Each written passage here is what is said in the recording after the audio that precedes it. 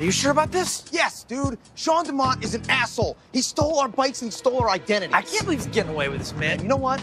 We got to do what we should have done 30 years ago. Yes, yes, you're right. You ready? Yeah, Sean Dumont, that prick. Son of a That goddamn prick.